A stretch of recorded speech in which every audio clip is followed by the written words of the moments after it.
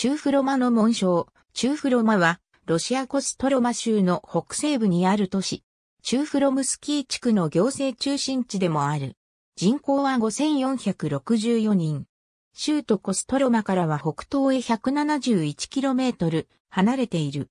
シベリア鉄道の列車が走る駅のあるガーリチからは、ガーリチソリガリチ間の道路を北へ 50km 進んだところにある。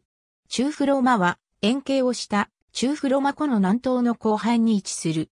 中フロマ湖は北西から川が流れ出ており、コストロマ川へと合流している。中フロマノナが記録に書出するのは1381年のことであり、ガーリチ公国の一部であった。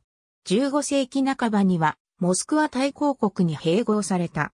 町の名、及び湖の名である中フロマとは、先住民族であるフィングゴル語族の付けた地名に由来すると考えられている。17世紀初頭の大動乱の時代には、中フロマも手ひどく破壊された。1778年に死の地位を得て、現在に至っている。町の近くには、ミハイル・レールモントフを輩出したレールモントフ家の辞書があり、歴史的な建物などが残る。中フロマには1730年から1740年にかけて建てられた精神女修神大聖堂、1746年までに建てられた旧世試験栄大聖堂、1837年に建てられた旧庁舎、浮き彫りで装飾された19世紀以来の木造の家々、14世紀の要塞の森土の跡などが見られる。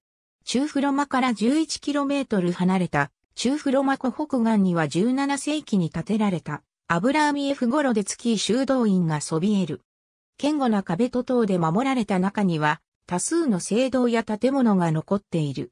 産業は木材加工や建材業などが中心になっている。ありがとうございます。